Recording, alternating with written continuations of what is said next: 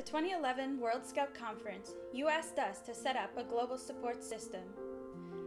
A system introducing a consultancy approach based on which NSOs can acquire expert resources and a tailored support through an identification of their strengths and areas of improvement, an exchange of project data, experiences, and synergies.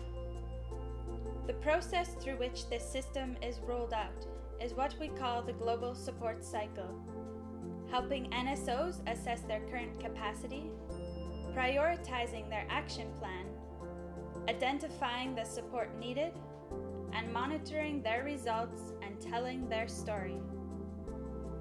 This is when we started working with SGS, a world's leading inspection, verification, and certification company which has a well proven track record in NGO audits.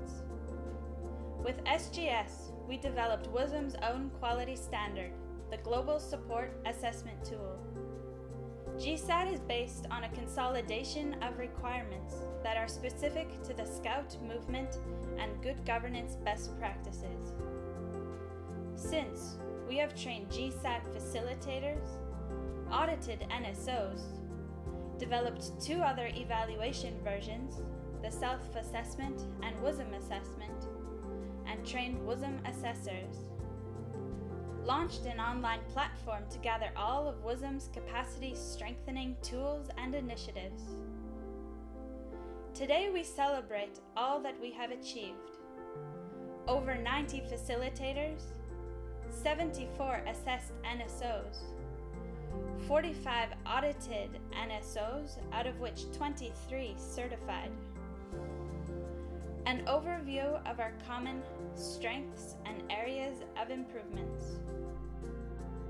91% of assessed NSOs saw the global support process as a strong contribution to the overall capacity. We look forward to working together to strengthen WOSM's capacity in reaching Vision 2023. You can learn more at scout.org GSAT.